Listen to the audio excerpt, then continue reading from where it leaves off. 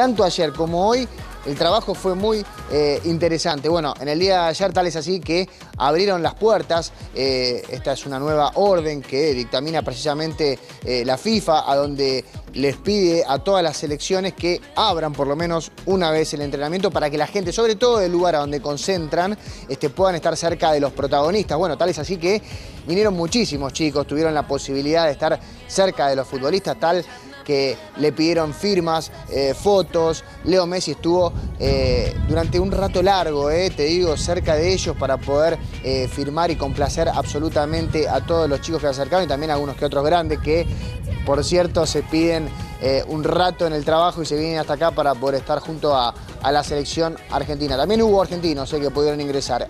Y en el día de hoy este, trabajaron, hace un ratito tuvimos la chance de poder observar unos 15 minutos, nada más la prensa, eh, y después obviamente eh, venimos a este sector que nos quedamos este, transmitiendo desde aquí para poder este, compartir con todos ustedes este, lo que es el presente de la selección argentina. En cuanto a lo futbolístico, podemos reafirmar lo que viene mostrando el entrenador del equipo, del posible equipo que puede llegar a parar frente a Islandia el día sábado.